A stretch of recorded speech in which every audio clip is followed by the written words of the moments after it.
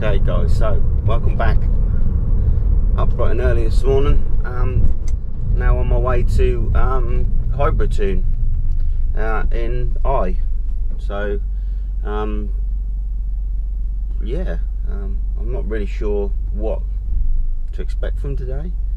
The guys are saying that we're going to just do a test or a rolling mode test on what we've got here now. Uh, we'll try to sort of modify the map that's already on here. They want to try and also build their own map so they can put on other Fiesta STs. They've not actually had one into their workshop before, so this is a good uh, experience for them to have a bit of a play, see what we can come up with. Uh, I think from what they were saying is is the Mountune map is one of the best maps for this car if you're not going to do anything else to the car apart from put the Mountune stuff on here. So obviously I've got some extra bits and pieces. There and basically what with Mountune they just there's a lot of safety built into it. I mean they are the best tuner in, in the UK um, so I've been told I'm I'm not 100% sort of knowledged up on tuners as such. I mean, I'm not really done much sort of tinkering with cars like this before. But what the guys were saying is they don't want to. Um, this is not. This is not to sort of do Mountune down at all. Well, not not not at all. This is for them to see what they can do with the stock map to see if they can see what power they can get. So basically, this is sort of like the the Mountune is the the, the three uh, sorry the two three five is just a bulk standard map that can go on any standard car. Um, it's not tuned for anything else apart from just the parameters that they move about a bit to to give you a bit more power. So I think the object of today is to take that and basically fine tune it to this particular car because obviously I've got the high flow um, I've got the F the um, intercooler on here now as well uh, with the airbox which is the Mountune airbox so I'm guessing when they built their map they would have used that but uh, like I said I've not spoke to Mountune so I don't really know. Um, but I think my expectations of today and tomorrow are I think we're going to find that at the moment I'm probably pushing about 240 brake and I reckon by the time um, Hybrid Tune have finished with this I reckon I'll probably get another 10 brake so I'm sort of hoping by the end of tomorrow I'll leave there with 250 brake that's my goal. Whether we'll achieve that I'm not sure. I've not told the guys up there. That's that's my thoughts. I'll speak to them about it when I get there.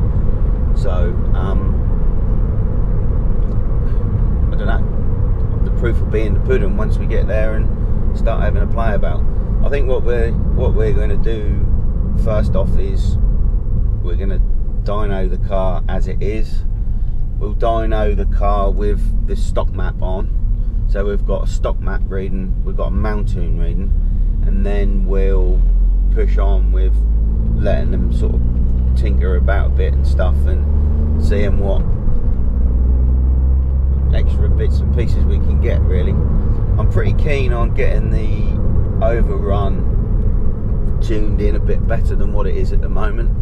Um, I've got, I'm not sure about the old overrun on these cars because I've heard a lot of other people record stuff and every every overrun sort of seems to sort of cut in and out slightly different. On this particular car, it, it never you have to work for it, which which is good, but it doesn't seem to pop so much when you're changing gear. Um, not I've, I've heard on other cars where you get some good pops when you're going up the gears rather than down the gears. So hopefully we can sort that out somehow today. Um, I think, like I said, you got the best of both worlds in this car. So I want it to pop and bang a lot when it's in race mode or sports mode, and obviously when it's in normal mode you don't get anything. So I'd rather it be a bit over the top in sports mode because obviously when you're in sports mode you're going to be out on the back roads and I mean that's when it sounds the best. When you're in the towns and villages and stuff you can knock it right down and no one will ever know. So um, I don't know. It might be something we could do. Might be might not be able to do anything at all but I'm pretty certain there's something you can do about it. So um, that's that's the plan for this morning. So I'll cut back once I'm there um, and we'll see how today pans out. So um, hopefully we'll see you in about 20 minutes when I'm there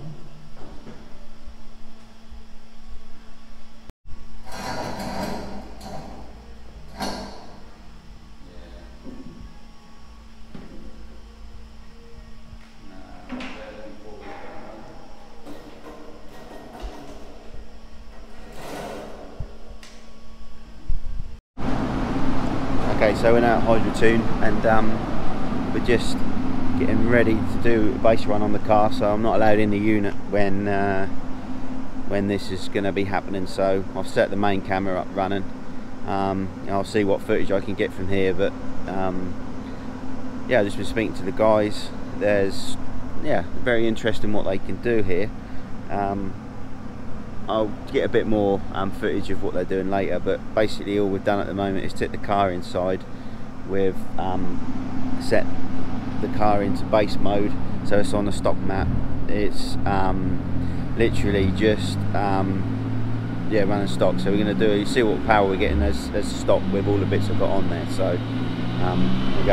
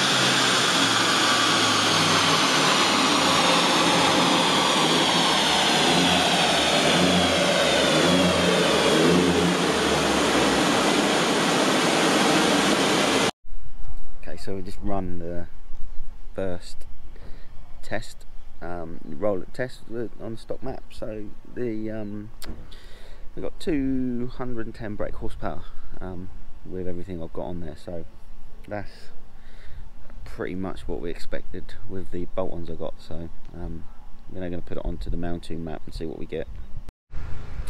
Okay, so we've just done the Mountune run, um, and surprisingly, we only pulled 224 so 224 brakes so um, it's not as much as either any of us was expecting so um, don't really know why um, it could be a number of things um, the dynos always read slightly different and whatnot but the guys seem to think that um, there's still a lot more in there so we're now gonna um, they've done a lot of data logging so that's now got to be sent off to their tuning uh, people they use for their software because they need to update their software. So we're now going to um, get the software updated and then hopefully I can get a few um, a bit more detail of how we're going to program the car um, and see what maps they can do. So um, might be a little while but we'll, we'll, we'll send this data off and we'll be back.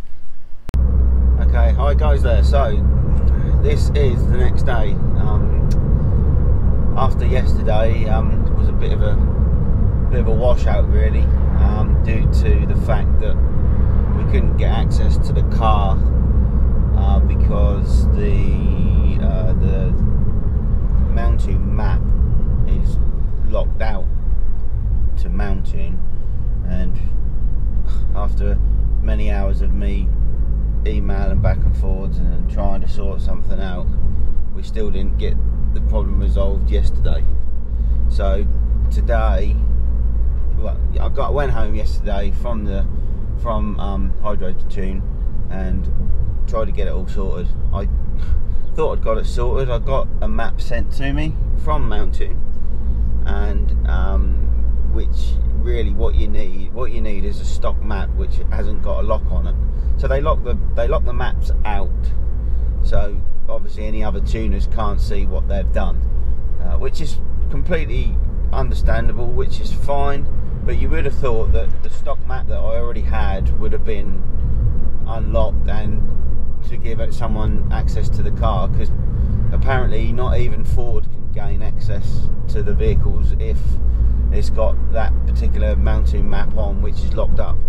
Um, whether that's right or wrong, I don't know. I'm over it now, so it's, it's, it's up to you guys to make your mind up if if you think that's fair or not. Um, but anyway, it's a new day. Um, unfortunately, I lost my full slot for today because we weren't sure whether I was going to get anything sorted or not. So the guys have already rearranged their diary for um, them to um, obviously look at other customers' cars and stuff. So, which is fine. Which is I completely understand that at, at their end. Um, I I didn't want to. I'm not here to mess anybody about at all. Um, I mean, they were just as disappointed as I was because I think they were looking forward to tinkering with this. But what I have agreed with them is because obviously I'm off work today. I had yesterday and today off. Um, now I've got the, uh, another map which uh, Mountune guarantee me will work I've said to them I'll come up today.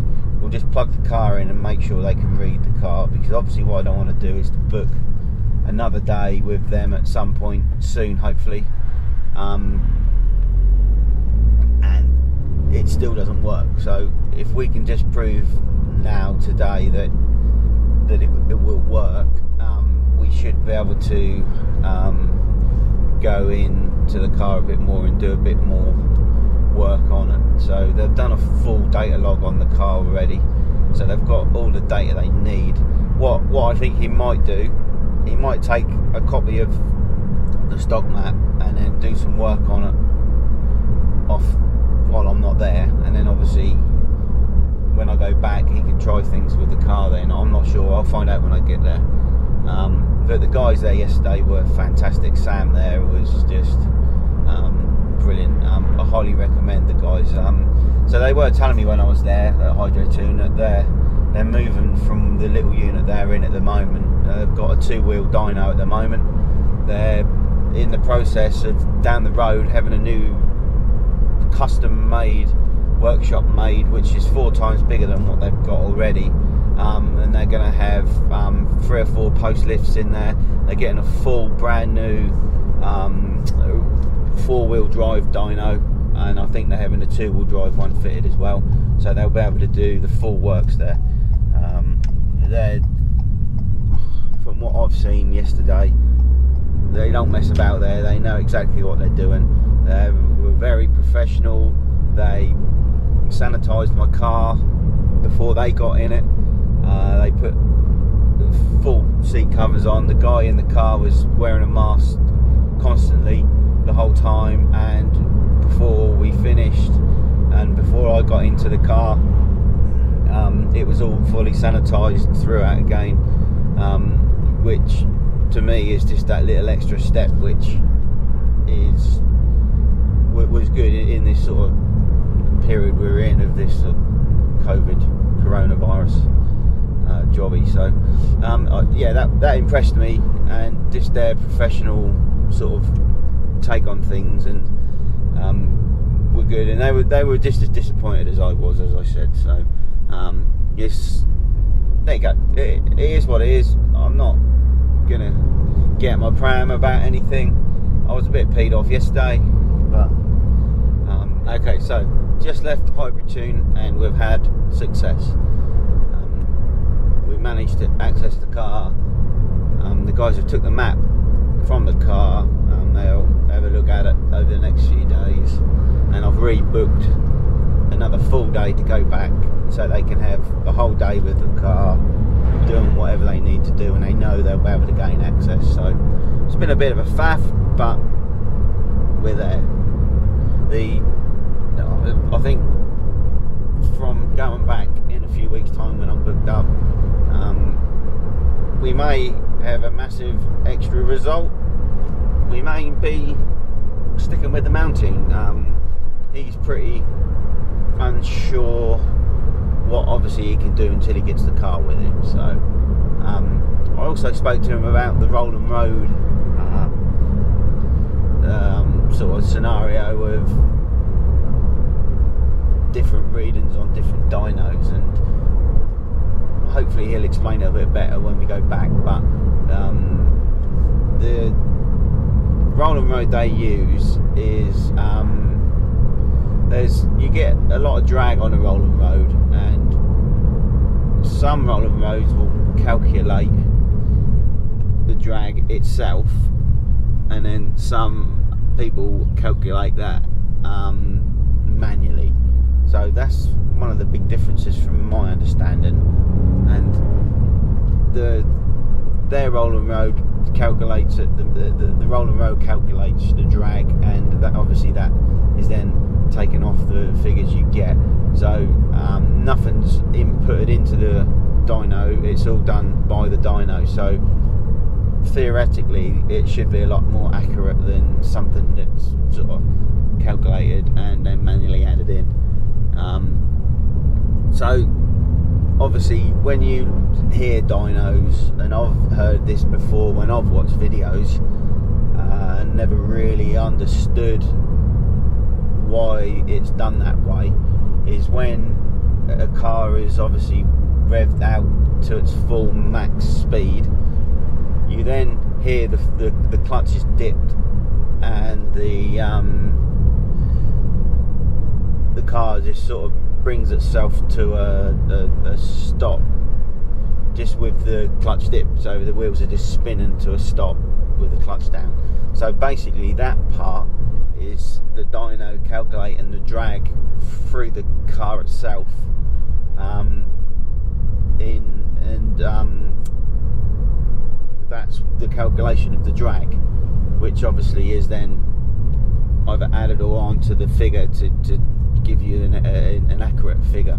So apparently uh, Sam was saying that his dyno he is like constantly having it compared to the best of the best and his is quite accurate. He did tell me a couple of names of dynos which his is very close to.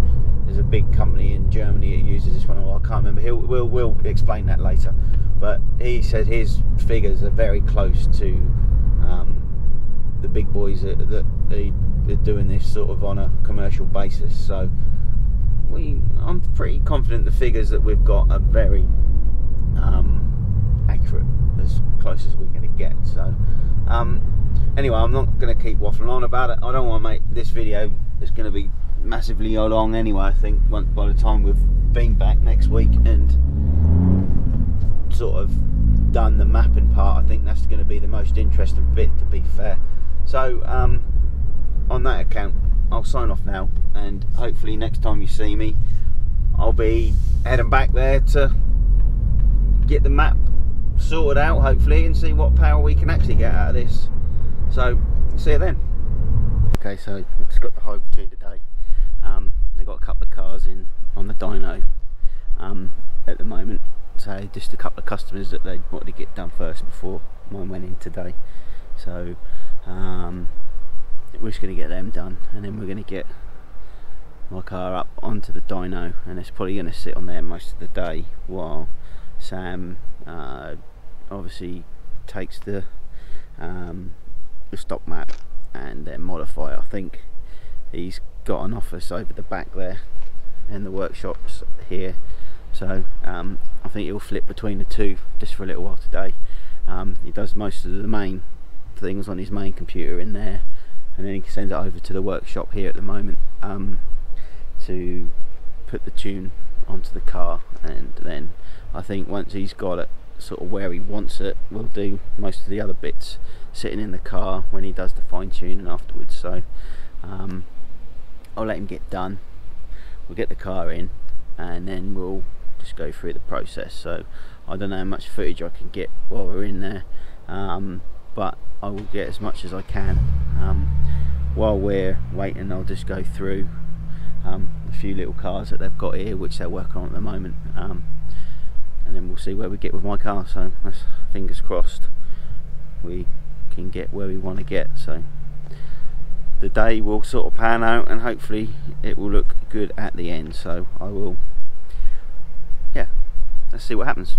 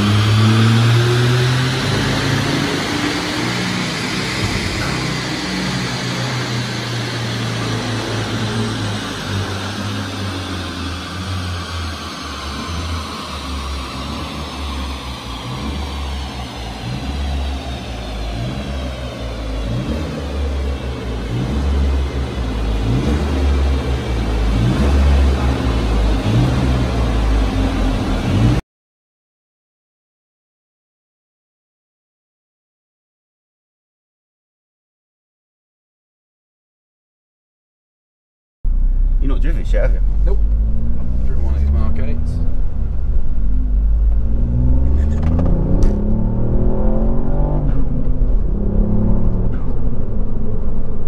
It's hard to feel if it feels different to me in this, this seat. Do you know what I mean? Yeah, I know. My missus drives this, but she doesn't drive it hard. So It talks there a bit before. yeah, Yeah. The- these are the torque steer on these are It's quite aggressive, isn't it? really really bad. Yeah, Considering it's sort of sub 1 UPs. It's you know even when it was stock, you could feel the Yeah. the torque steer.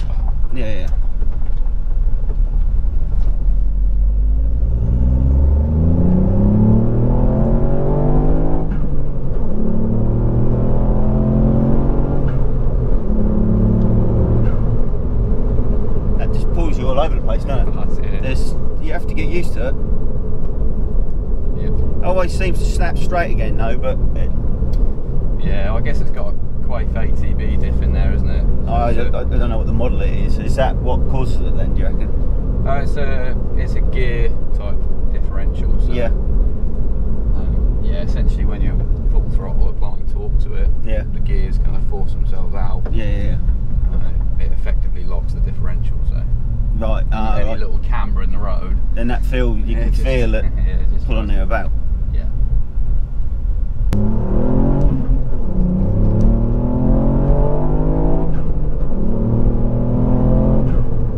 That feels a lot quicker.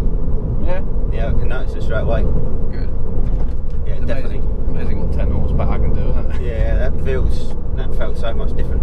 Yep. It felt that felt a lot smoother Yeah. than what I had already.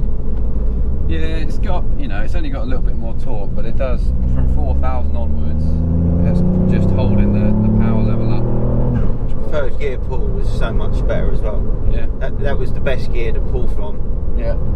before, but that feels. I think it's the smoothness. Yeah. Yeah,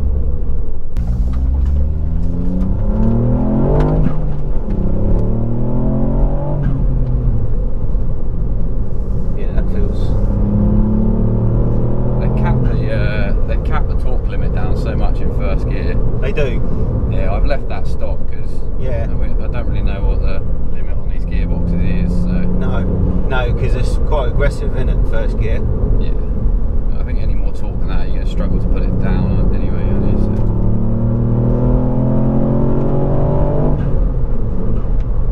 Sounds good as well. Little baby V6 up the front there. Sounds lush, doesn't it? yeah. Yeah, that feels. It's the smoothness more now than anything, Yeah.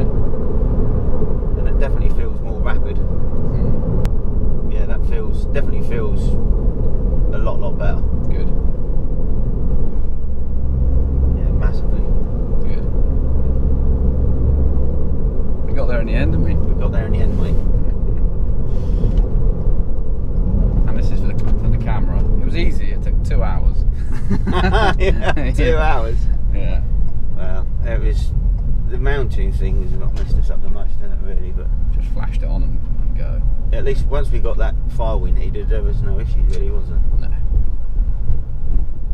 Jobs are good. And. I will just quickly plug the laptop in there, and if, you, if you don't mind, we'll just quickly go up the road again, and I'll get a data log on the road. yeah, yeah, I'll, Yeah. I'll, yeah, I'll leave it running. Yep. Back in a sec. Now Sam's gone, I'll tell you what, he's been a star today. He's persevered with it. And um, we didn't quite get to the power we wanted, but I'll tell you what, it's made a massive difference. So, um, yeah, I'm prop chuffed and it feels so much better just by the smile on my face. Happy days. What do you need? Uh, so do you need it sort of just driven normally or Nah, just a just a full throttle run. Like, we, we'll go back around again, shall we, what we just did? we can go if we go left out of here, then turn round at that junction, and then And just come- come back past. Is that all you need, is it? Yeah, yeah. Cool. Just a just a sort of second to third to fourth gear pull, just to make sure primarily that we're not getting any more boost than we were on the road. Yeah, when you're ready. Full throttle all the way, yeah? Yeah.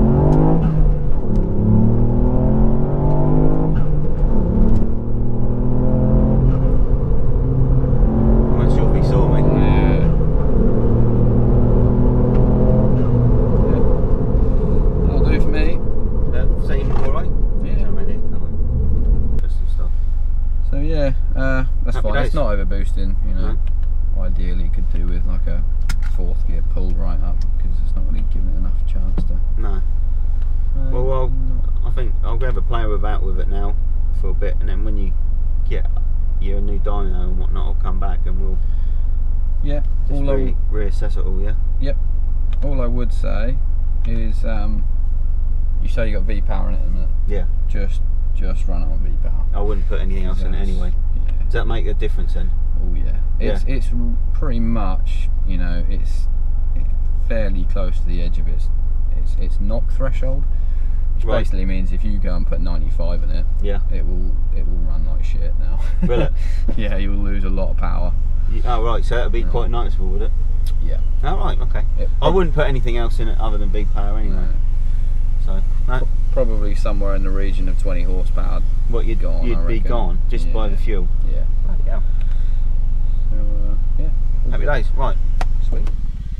Okay, so now leaving hybrid, Hybrid Tune, um, and yeah, so to conclude, really for today, we got 237 brake horsepower.